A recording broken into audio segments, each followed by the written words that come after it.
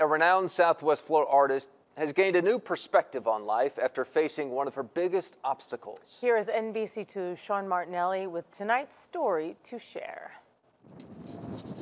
Surrounded by the beauty of Matlacha Island, this is the view that inspires artist Leoma Lovegrove. I've traveled all over the world, but this is like my favorite place right here to paint. And it's always different. You know, everybody sees kind of the same thing, but it's always different. Leoma's lived on Matlacha for decades, but recently gained a new appreciation for the island. There's a place for work, but there's, you know, there's a place for um, enjoying life.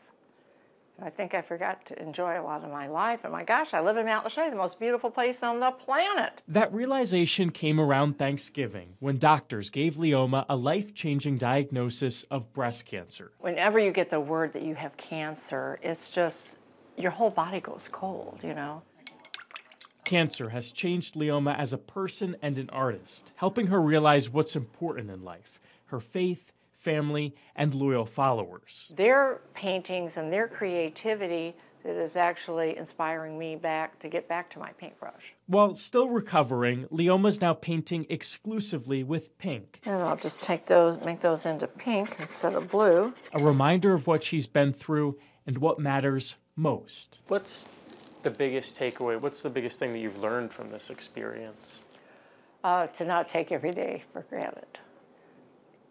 I always uh, work a lot, and I think, oh, working, working, working, because I love to work. I love to paint, you know, but that's not always the big thing. You gotta slow down a little bit.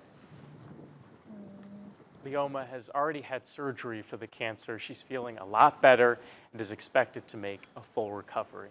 I love that girl. She's so cool. I like driving by her shop in Yeah. Matlacha. Yeah. Yeah. So many people have been sending her cards and doing their own art. Yeah, she's kind of iconic in this area. People feel like they have a little piece of her. Yep. Good job there, Sean.